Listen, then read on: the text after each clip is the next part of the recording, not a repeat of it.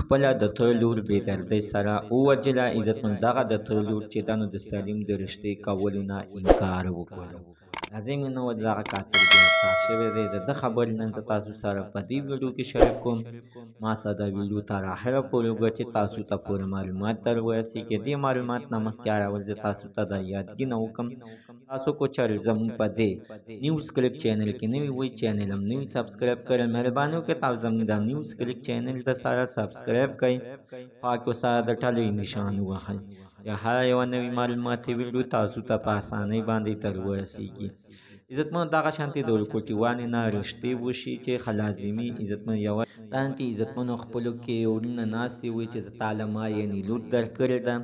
او هغه ته به عزتمن هغه په دغه ټیم کې یعنی خواږه مړي او خوشاله شي چې زه په ورور په ما باندې یعنی رحم وکړو کله چې عزتمنو دغه رشتې به دغه خلک چې غچې نو جینۍ لازمي به ځان نه بخر څه درک لګولې وي به دغه د تل د زوی د واده کولو نه انکار وکړي او دغه د تر د زوی ته عزتمنو غټ پیغور مخې ته ودرېږي وایي چې دا ما سره اخر کوم څومره ظلم وشولو چې ما شل پنځوس کاله صبر وکړو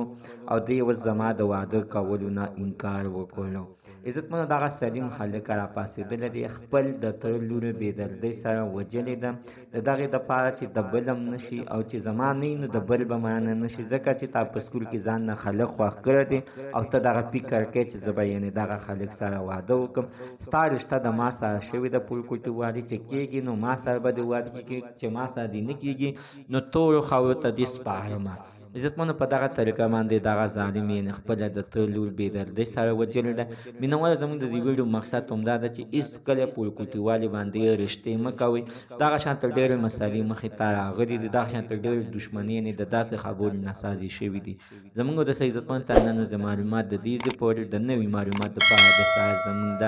نیوز کلیک چینل د ساز سبسکرایب کوئ خوا کې ورسره د ټالین هر یوه نوي معلوماتي ویډیو تاسو ته په اسانۍ باندې در ورسیږي